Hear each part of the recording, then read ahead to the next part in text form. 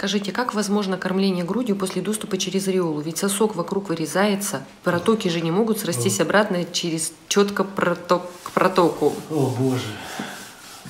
Вот это грудь. Вот это грудь. Боковой срез.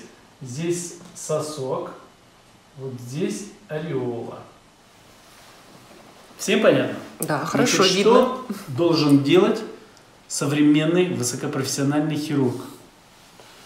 Он делает разрез на коже, вот здесь. Просто разрез на коже, вокруг ореолки. Если рассматривать вот в таком аспекте, здесь сосок, то он делает разрез ну, с любой половинки, допустим, вот здесь, по краю ореолы, Крас- красным цветом. Красненьким, да. Вот такой вот разрез вокруг ореола. Это сосок. Если боковой срез, вот здесь разрез.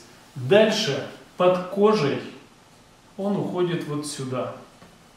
Хирург. Здесь находится железа.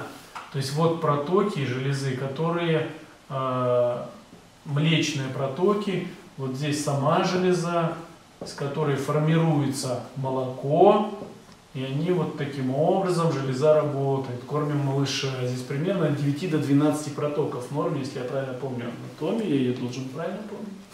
Значит, вот таким образом обходит, обходим железу, проникаем сюда. Дальше либо пространство под железу, либо здесь еще мышцы есть, либо под мышцы заходим. Все. Вроде как схема простая, но технически эту операцию нужно правильно выполнить. Для этого, безусловно, нужны голова и руки, потому что мало того сюда зайти, отсюда еще нужно правильно выйти. То есть отсюда устанавливается имплант, и когда уходишь, всю эту структуру нужно правильно собрать анатомически. И таким образом молочная железа не участвует в процессе. Сосок никакой не отрезается, не переносится. Если речь идет об э, подтяжке одномоментной, то разрез делается вот здесь по коже,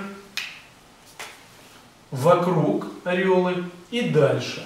Вот этот участок удаляется, соответственно, кожа сюда приближается и фиксируется к ореоле. То есть, если вот здесь рассмотреть этот участок таким же образом, вот так вот, железа не затрагивается, протоки тоже.